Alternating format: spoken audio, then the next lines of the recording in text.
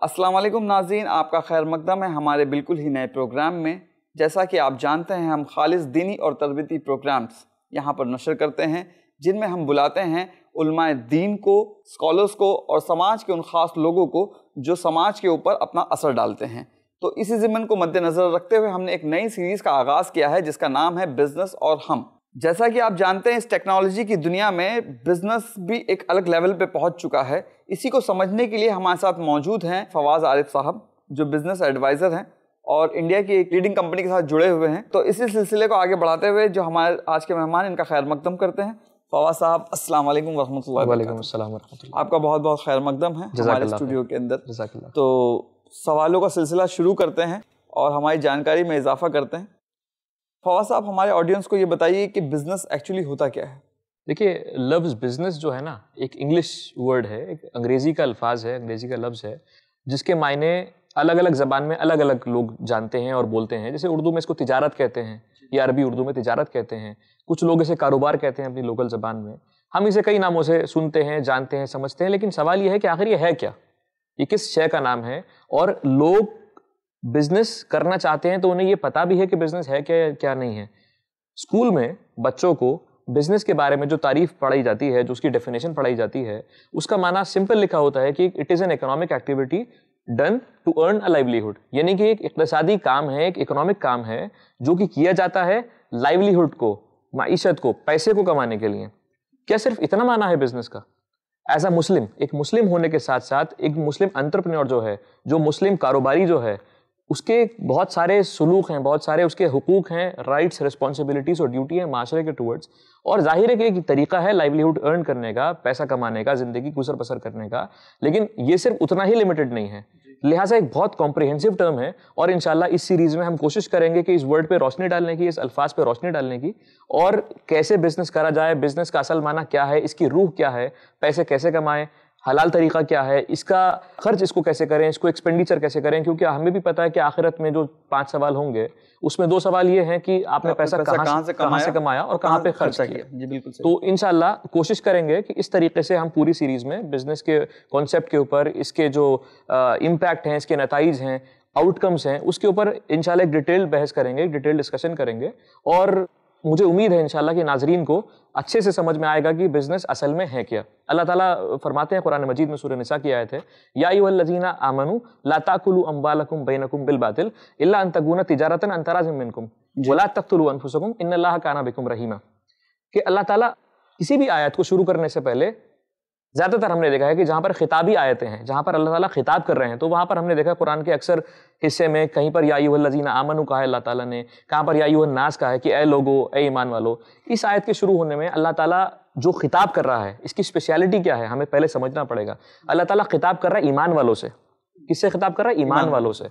और अल्लाह ताला क्या कह रहा है कि ए ईमान वालों अपने मालों को आपस में बातिल तरीके से मत खाओ। अपने मालों को आपस में बातिल तरीके से घपले से झूठ से फ्रॉड से मिसरिप्रेजेंटेशन से गुमराह करके लोगों को मत खाओ। लेकिन बेहतर यह है कि आपसी रजामंदी के साथ बाहमी रजामंदी के साथ तिजारत करके और अच्छे तरीके से इसे खर्च करो इसे इसे कंज्यूम करो इसे इन्वेस्ट करो ठीक है? और अल्लाह ताला इसके बाद कह रहे हैं कि अपनी नफ्सों को कत्ल मत करो। अच्छा। अल्लाह ताला क्या कह रहे हैं? अपनी नफ्सों को कत्ल मत करो। क्यों? क्योंकि इसका इम्पैक्ट जहाँ पर पैसा आ जाएगा वहाँ पर फितना ज़्यादा बर्पा होने के चांसेस हैं। फितना बर्पा होने का ज़्यादा मौका वहाँ पर आमादा हो जाता है। तो अल्लाह ताला साथ साथ इसके कह रहा है कि देखो, अगर तुम ऐसा करोगे तो चांसेस हैं कि तुम अपनी नफ्सों को भी हलाकत में डाल दोगे। तो अल्लाह ताला इसलिए कह रहा है कि अपनी नफ्सों को कत्ल मत करो माल अच्छे तरीके से खाओ, घपलेबाजी, झूठ, फ्रॉड, मिसरिप्रेजेंटेशन, गुमराही में मत पड़ो, तिजारत करो, आपसी सहमति से, आपसी रजामंदी से तिजारत करो, अच्छे से हलाल कमाओ, हलाल खर्च करो और अपनी नफ्सों को कत्ल मत करो, अपनी नफ्सों को नुकसान मत पहुंचाओ। बहुत बहुत शुक्रिया फवाद साहब। तो नाजिन, जैसा कि आपने देखा, फवाद साहब ने बहुत ही अच्छी बात बताई और इस सीरीज़ से आप पूरी तरीके से जुड़े रहिए क्योंकि हम ऐसे पॉइंट्स को उजागर करने वाले हैं, ऐसे पॉइंट्स के ऊपर डिस्कशन करने वाले हैं जो हमको और आपको समझना बहुत ज़रूरी है। और जैसे कि फवाद साहब ने बताया कि अपने माल को गलत तरीके से ना कमाइए। और इसी ज़मन में एक हदीस मुझे याद आ रही कि अल्लाह के रसूल ने कहा है कि हर उम्मत के लिए एक फ़ितना था और मेरी उम्मत के लिए फ़ितना माल है। तो आइए इस माल को हलाल तरीके से कैसे कमाया जाएगा और इसको अच्छे तरीके से और कैसे कमाया जाएगा और इसे अच्छे तरीके से कैसे खर्चा किया जाएगा, इसी डिस्कशन को और आगे बढ़ाते हैं।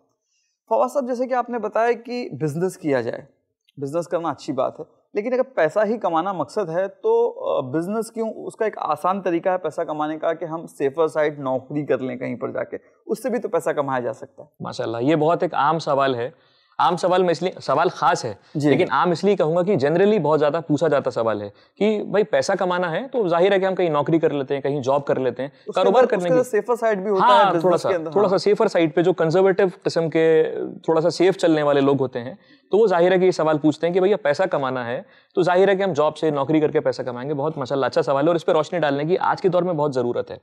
देखिए एक इंसानी साइकोलॉजी है आप एक कमरे में सौ लोग को बिठाइए जी हाँ। उम्र का कोई मामला नहीं है। वो 18 साल से लेके, यानी कि जब तक भी एक बलागत की उम्र है 14 साल 15 साल 16 साल, उनके अंदर एक अकल आ जाए, अकल का मादा आ जाए, और आप 60 साल तक की उम्र के लोग को आप बैठा लिए और आप उनसे पूछिए कि मैं आपको दो चीज़ें देता हूँ।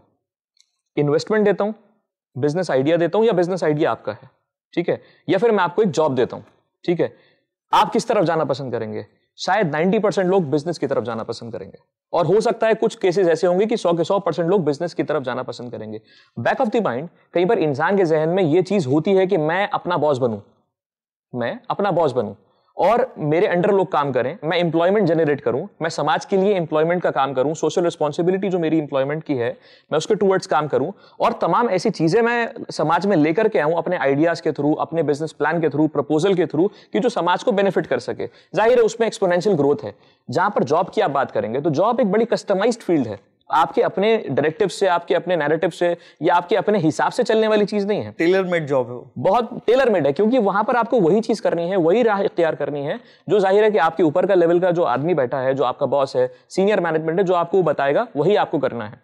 और जहाँ पर आपने अपना दिमाग लगाने की कोशिश की जॉब में देखिए जॉब का एक प्रोटोटाइप है एक रास्ता है।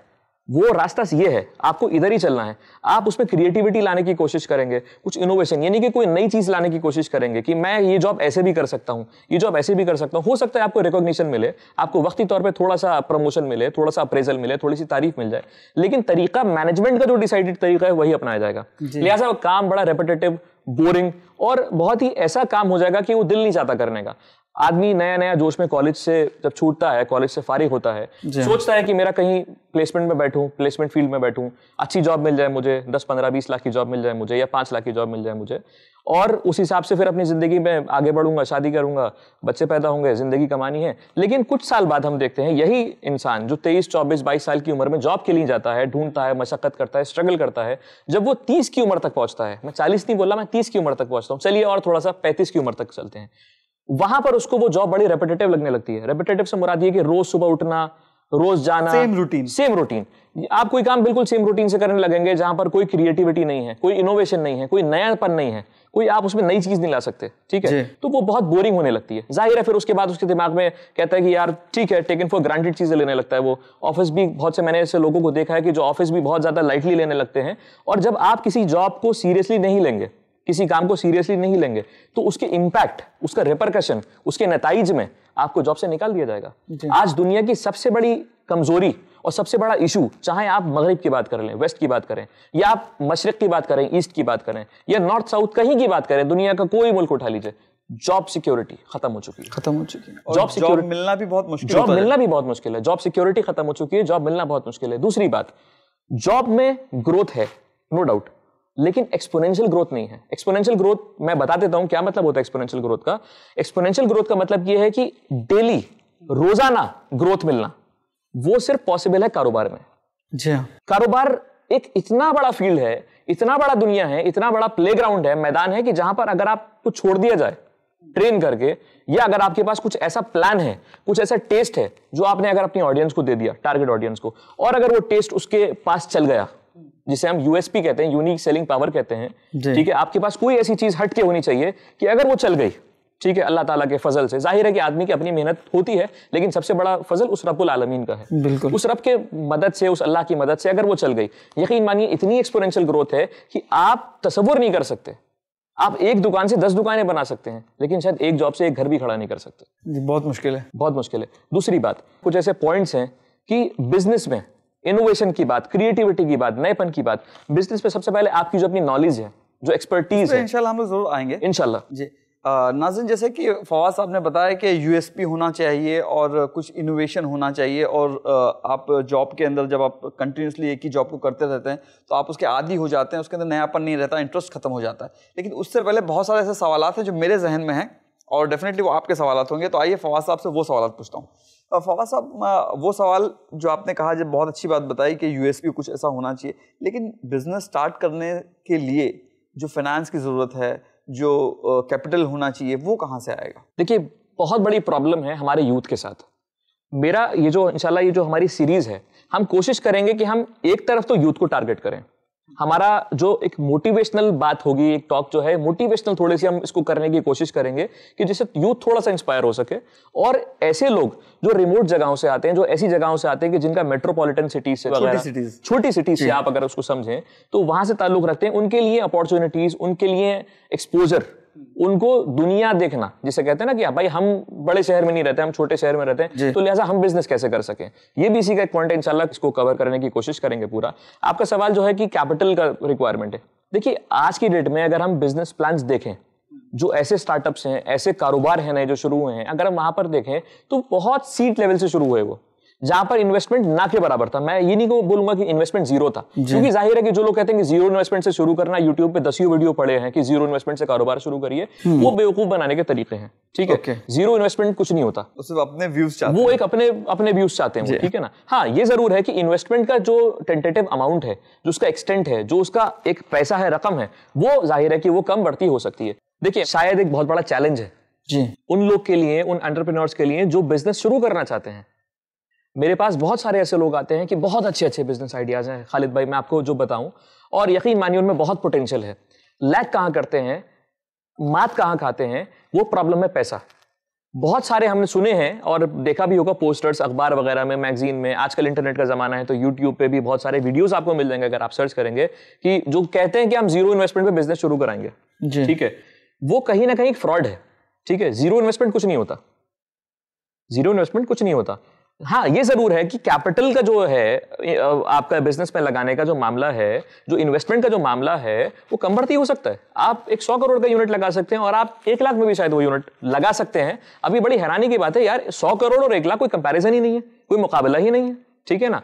प्रॉब्लम क्या है? अच्छा अब मैं एक छोटी सी बात यहाँ पर ऐड करना चाहूँगा कि हमारा जो यूथ है, खासतौर पर मैं यूथ की तरफ़ ज़्यादा सेंट्रिक होना चाहूँगा।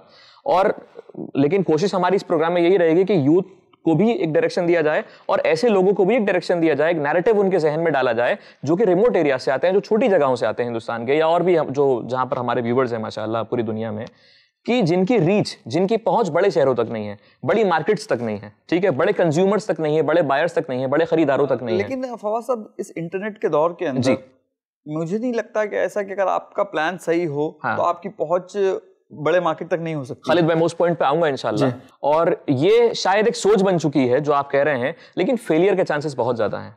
Okay okay. फेलियर के चांसेस बहुत। आप अगर कभी देखेंगे किसी भी खिलाड़ी को ठीक है ना वो शायद ये सोचता है कि उसे वो चीज़ बहुत अच्छी आती है लेकिन जब तक उसे ट्रेनिंग नहीं मिली जब तक उसने उस चीज़ को लर्न नहीं करा समझा नहीं अंडरस्टैंड नहीं करा उसको। और वो बगैर सोचे समझे उस चीज़ में कूद गया। तो ज़ाहिर है कि फेलियर का रेट 90 परसेंट से 95 परसेंट हो जाता है। जी हाँ। मैं बात जो कर रहा था मैं कर रहा था यूथ की बात ठीक है? तो हमारा जो इरादा है वो दोनों तबकों को लेकर चलने का है यूथ को भी और ऐसे लोगों को भी जो बहुत रिमोट एरिया से आते हैं जो बहुत छोटी जगहों से आते हैं।